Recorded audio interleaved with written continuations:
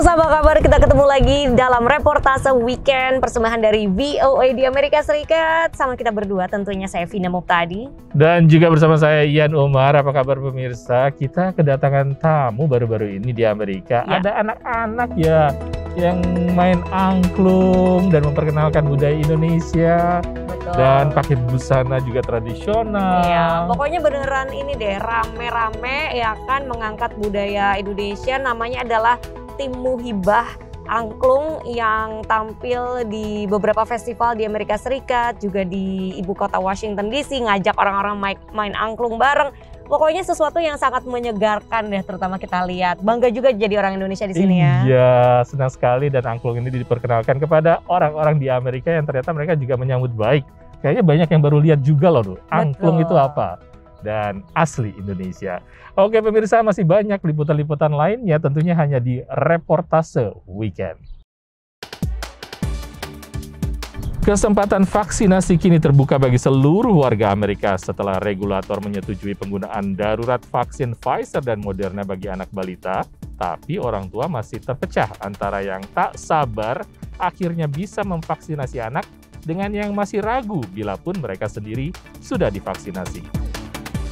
Perangkat elektronik yang dikenakan pengguna atau wearable kini berkembang pesat termasuk untuk memantau kesehatan.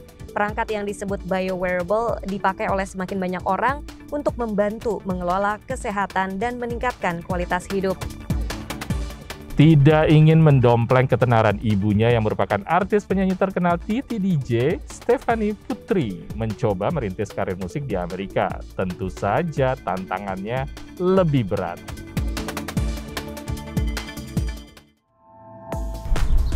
Pemirsa, meskipun di banyak tempat, banyak negara, peraturan kesehatan sudah mulai dilonggarkan terkait COVID, tapi virus COVID sendiri, virus corona terus bermutasi ya. Varian Omikron aja ada banyak banget jenisnya. Ya. Makanya prokes juga sebaiknya tetap dijaga. Tapi sekarang ada vaksin-vaksin kan, orang-orang dewasa sudah mulai divaksin. Nah sekarang anak-anak kecil nih gilirannya. Iya benar sekali karena FDA ataupun juga BPOM dan CDC di Amerika baru saja mengesahkan penggunaan darurat untuk vaksin bagi anak-anak balita di bawah lima tahun. Ya. dan ini untuk vaksin Pfizer dan juga Moderna. Kayaknya bermanfaat sekali buat mereka ini. Tapi sebenarnya pendapat para orang tua masih terpecah. Ada yang tidak sabar untuk memvaksin Iya. anaknya, ada yang bilang masih menunggu dulu, masih ragu karena ini masih dalam uh, tahap proses penggunaan darurat mungkin. Kita lihat uh, dari liputan berikut tanggapan dari para orang tua.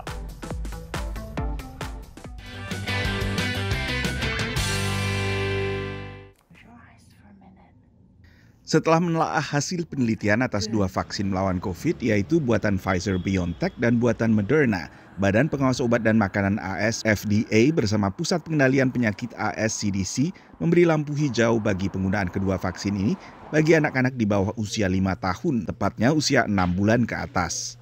With this recent authorization from FDA and recommendation from CDC, nearly 20 million children are now able to get vaccinated against COVID 19. I know many parents with very young children have been anticipating this day.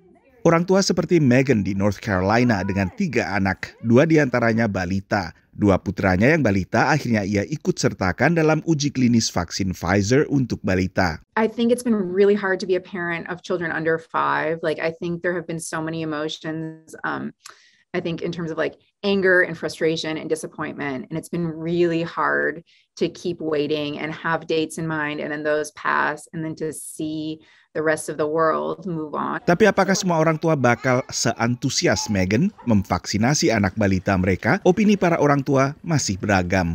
It's a, a really peace of mind that you don't need to worry about this potentially dangerous and potentially fatal disease for uh, your young kids. It makes me a little bit nervous only because like you know the vaccine it is fairly new. Survei baru oleh Kaiser Family Foundation menunjukkan sekitar 40% orang tua takkan segera memvaksinasi anak balita mereka. Dan data CDC menyangkut vaksinasi anak kelompok usia lebih tua pun mengonfirmasi keraguan sebagian orang tua ini.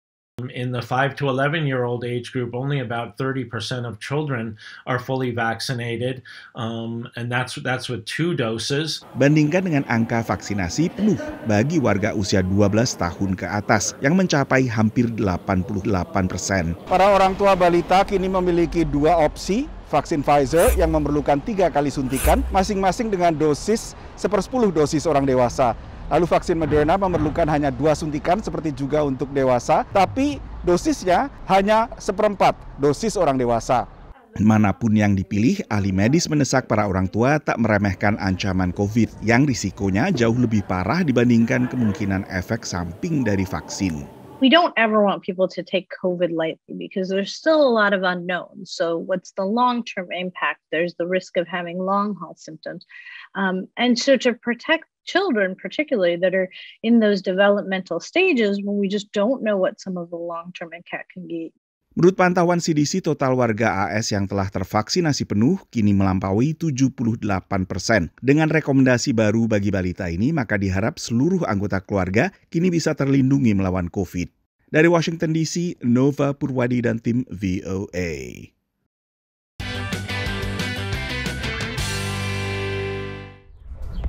Saat ini izin yang dikeluarkan untuk vaksin balita ke bawah adalah izin penggunaan darurat ya. Jadi datanya masih terus dikumpulkan dan hasilnya juga masih terus diobservasi. Dan memang keputusan untuk pemberian vaksin ini untuk anak-anak balita diserahkan sepenuhnya kepada orang tua masing-masing. Ya. Oke pemirsa masih banyak liputan lainnya. Kita tetap di Reportase Weekend.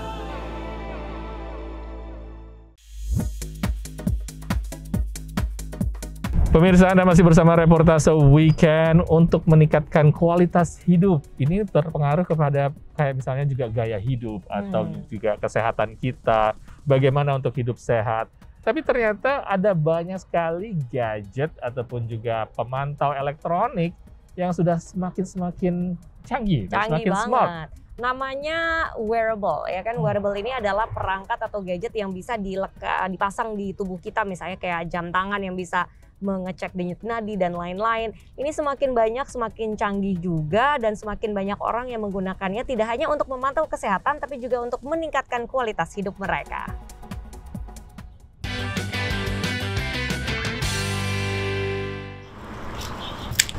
Fred memiliki hobi berkebun dan kini ia lebih menikmatinya karena kadar gula darahnya sudah lebih terkendali. Before when I, I used the test strip, I was more worried about my, my diabetics.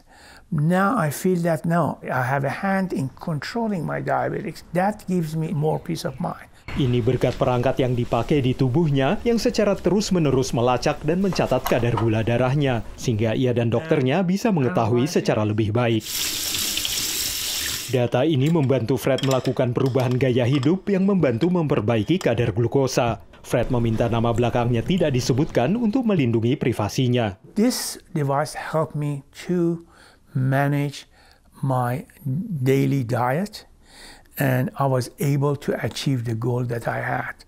Semakin banyak orang seperti Fred beralih ke perangkat wearables untuk membantu mengelola kesehatan mereka. Seperti untuk melacak saat mereka berjalan atau sekedar memantau kehidupan mereka. I use my Apple Watch to check my steps my heart rate, and my general activity levels. Konsumen bisa berbagi data ini dengan dokter mereka. I can get gait analysis off of your iPhone. And moreover, I can detect falls off of an Apple Watch. In one week, I'm getting the same sample that I would normally be getting in a year. So this is really changing how we're viewing preventing and managing, you know, our population. Tapi banyak orang mengkhawatirkan aspek privasi dan keamanan data kesehatan mereka. We want to be able to have reliable data uh, that's secure from a patient protection standpoint. Perangkat Fred berupa sensor yang menempel di tubuhnya.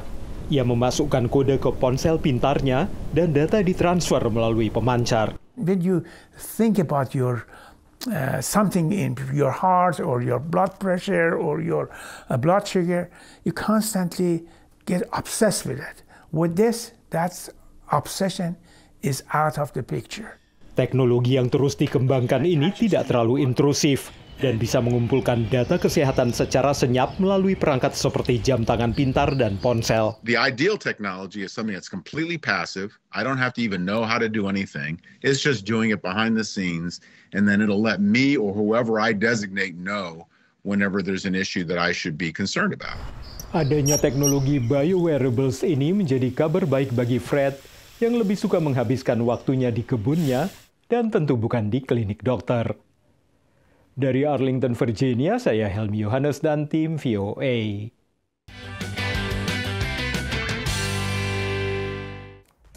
Ayo semoga tayangan tadi membuat kita semakin semangat untuk uh, mulai berolahraga, menekuni, jadi semakin rajin, semakin konsisten karena banyak alat bantu ya, kayak gadget-gadget tadi. Ya, udah olahraga, sekarang waktunya untuk makan ramen. Waduh, nggak jadi dari ini dong, nggak jadi diet deh. Langsung tergoda kan karena saya mengajak anda untuk ke California tepatnya di Los Angeles Ya. berkunjung ke sebuah ramen namanya Iki Ramen dan pemiliknya dua sahabat asal Indonesia yaitu Jeffrey dan Sebastian.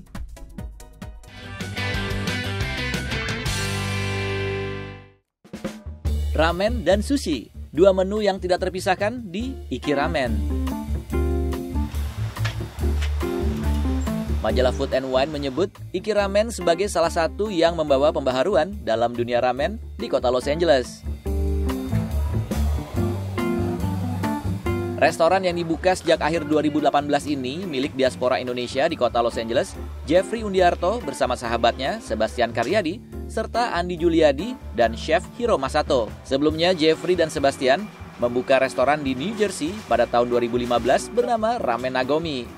Syarat awal memulai usaha bagi Jeffrey adalah melakukan sesuatu yang kita suka dan kuasai. Dari dulu kita selalu kerja di Japanese restaurant. Um, experience yang kita emang benar-benar di Japanese restaurant. Dan kita suka ramen dan Sebastian dia lebih fokus untuk uh, ramen. Dan dan kalau saya saya lebih ke sushi. Jadi um, iki ramen itu kombinasi kita berdua. Ikan yang kita pakai dari Jepang uh, mostly dari Jepang tapi ini dari Scottish ya. Oke, tapi di sini orang datang yang utama eh, ramennya ya. Ramen ya, ya. Cuman lama kelamaan sushi juga jadi orang suka juga terkenal. Beberapa menu sushi dan ramen di sini memang hanya bisa didapatkan di Iki Ramen. Mie-nya itu juga harus khusus ya sih? Khusus, Harus spesial, khusus ya? Uh, each uh, noodle kita mie-nya beda-beda tergantung kalau uh, noodle-nya kita lebih thick atau noodle-nya le- uh, kuahnya thick, noodle-nya kita lebih thin. Jadi kalau misalnya ini noodle-nya uh, light, clear broth, kita jadi bikin kayak lebih di di bikin texture. Salah satu ramen andalannya adalah Wagyu Beef Ramen. Gak lupa pakai sambal dong. Ini sambal apa nih? Uh, chili, kita pakai uh, house chili. Iki Ramen selalu ramai oleh pelanggan. Very, very delicious. Very, very delicious. tekstur mie-nya oke banget, eh, pas. Biasanya kan kalau tonkotsu gitu yang terlalu creamy, kalau ini tuh enggak yang creamy banget dan bikin kita gitu dan potongan potongan apa namanya chashu-nya itu generous banget. Tips sukses dari Jeffrey, Don't give up. Kerja keras. Berpikir terus. dari Los Angeles, California, Irfan Isan dan Dania Iman, VOA.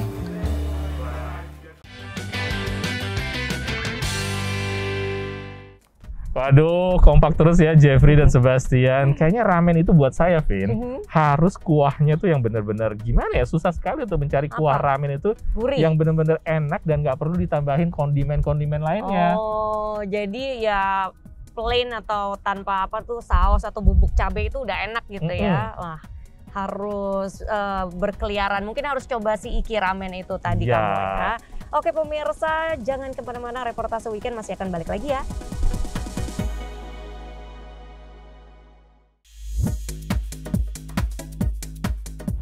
Hey pemirsa reportase weekend balik lagi. Ingat gak sih pernah ada lagu yang ngetop banget yang judulnya I Love You 3000? Ya itu kan viral banget kan waktu Bener, itu. bener. Itu Ya. yang nyanyi adalah Stephanie Putri yang gara-gara lagu itu dia juga direkrut oleh manajemen 88 Rising terus pindah ke Amerika berkarir di sini. Orang-orang di Indonesia juga mungkin mengenal ia sebagai putrinya Titi DJ sang diva. Tapi dia tidak mau loh mendompleng nama ibunya yang terkenal Hmm. itu di Indonesia, Titi DJ. Jadi Stephanie Putri itu pengen berkarir di Amerika dan dia ternyata menemukan bahwa tidak mudah Oh. pengalamannya di sini selama di Amerika. Iya. Kita lihat eh, tim VOA menemuinya langsung menemui Stephanie di Los Angeles.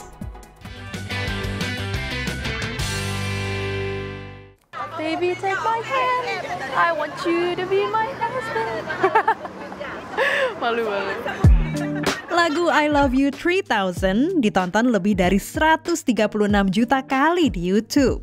Capaian ini berhasil membawa sang penyanyi Stephanie Poitry ke panggung Amerika. Awalnya, ia tidak menyangka lagu I Love You 3000 akan membesarkan namanya. Obviously kayak deep down aku hopeful, oh, semoga bisa, you know, didengerin banyak orang. Tapi I never expected untuk se segede ini. Jadi sangat berterima kasih, you know. Tahun 2019, penyanyi berusia 22 tahun ini memutuskan pindah ke Los Angeles, Amerika Serikat untuk meniti karirnya di industri musik. Ia bergabung dengan label musik 88 Rising yang telah membesarkan nama-nama seperti Rich Brian dan Nicki. Seneng sih soalnya salah satu hal yang menakutkan gitu untuk pindah ke Amerika kan kayak aduh serem nih nggak kenal siapa-siapa apa-apa. Tapi ada rasa senengnya walaupun di label juga tetap ada you know kayak my Indo friends gitu. Jadi seneng. Bagaimana peran dari sang ibu Titi Dwi Jayati atau Titi DJ? saya sebenarnya salut gitu sama dia gitu um, berani uh, mengambil uh, keputusan untuk berkarir di sana gitu ya dia bilang mam bisa aja sih aku berkarir di sini cuman aku seneng aku bisa uh, akhirnya bisa berkarir di luar karena dengan begitu aku membuktikan kepada diri sendiri bahwa aku memang bisa tanpa bantuan nama besar Titi DJ Belum lama ini, Stephanie merilis mini album pop akustik berjudul Oh To Be In Love yang berisi lima lagu bertema cinta. Inspirasinya biasanya dari mana kalau kamu uh, menulis lagu? dulu tuh aku sering lebih banyak kayak bohong gitu. Di lagu ya soalnya kayak aku juga kehidupan aku cukup um, boring. Tapi recently gimana ya aku udah mulai kayak bisa menulis dari my own experiences. Dan apa namanya kerasa sih kayak it's aut- authentic gitu.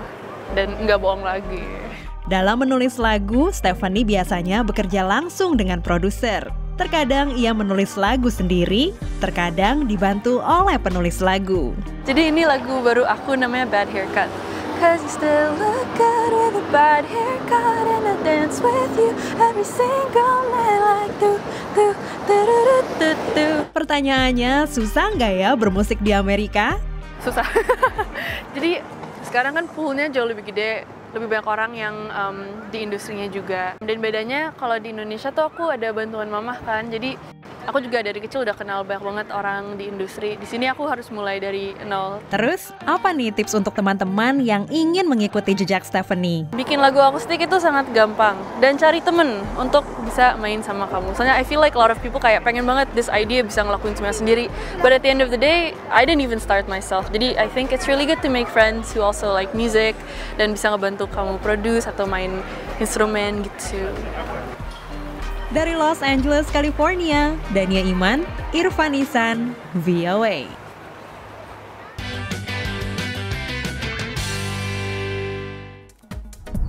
Asik ada lagu baru, so cute, nggak sabar. Dan Stephanie juga cerita kalau dulu waktu kecil tuh dia tuh suka eh, nulis lagu, tapi inspirasinya tuh datang dari cerita-cerita gitu loh. Nah sekarang udah gede, jadi mungkin inspirasinya bisa datang dari kehidupan nyata diri sendiri. I Love You 3000 ini ternyata sudah ditonton lebih dari 128 juta Wow. loh. Keren sekali. Semoga single barunya juga sesukses seperti I Love You 3000 dan semangat untuk Stephanie kerja keras dengan timnya di 88 Rising. Pemirsa demikian liputan-liputan menarik yang bisa kami sampaikan di reportase weekend kali ini. Kita akan ketemu lagi di reportase weekend berikutnya ya. Saya Ian Umar. Dan saya Vina Muktadi bersama tim reportase weekend yang bertugas hari ini pamit dulu dari Washington DC menyapa Anda di Indonesia. Kita ketemu lagi minggu depan. Bye bye.